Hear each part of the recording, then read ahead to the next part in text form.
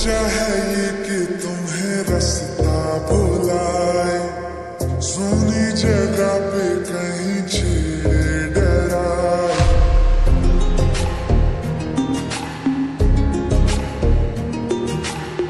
सोचा है ये कि तुम्हें रास्ता भुलाए।